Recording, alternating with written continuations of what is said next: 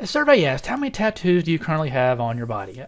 Of the 1,234 males surveyed, 197 reported they had at least one tattoo. Of the 1,086 females surveyed, 138 responded they had at least one tattoo.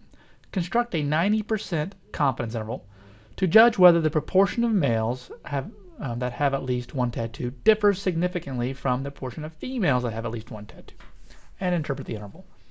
So let's just use the TI and StatCrunch to crunch this interval out. So on the TI, you're going to press stat. This is two proportions, so go over to test. And number six, two proportion. Oh, actually, this is a two proportion Z interval. So let me scroll down, which see which one that is. Two prop Z interval is a B. Two prop Z interval. Okay, let's populate these fields here. So let's do the males first. So 197 of the 1234.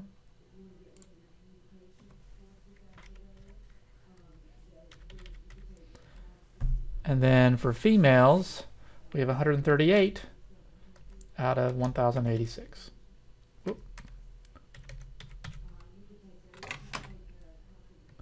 And it wants a 90%, so you can put 90 here. Okay, press enter or calculate. There is our interval. So it looks like about 16% of males have at least one tattoo and at least about 12.8% of females. So here's our confidence interval for the difference.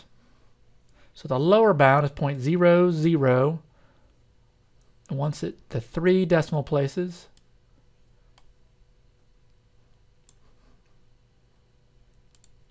So 0.009 and the upper bound is 0.056.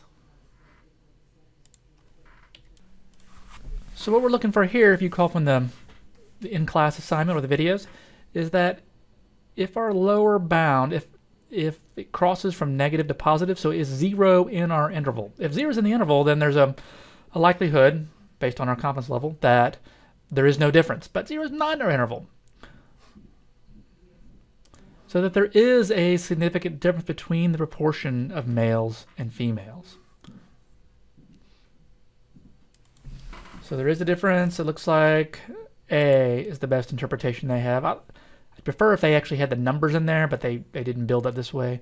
It's 90% confidence that the difference is between, and let's think about these in terms of percent, 0.9% or about 1% and 5.6%.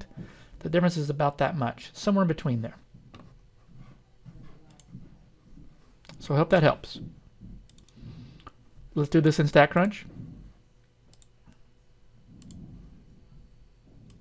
So we're going to go to stat, proportion stat, two sample with summary. And populate these fields like we did the calculator. Okay, so we're not running a hypothesis test, we're just doing a confidence interval of the difference, and we'll do it in 0.9 or 90. Press compute, and we get exactly the same thing. Lower limit of 0.009, and the upper limit at 0.056. So I hope that helps.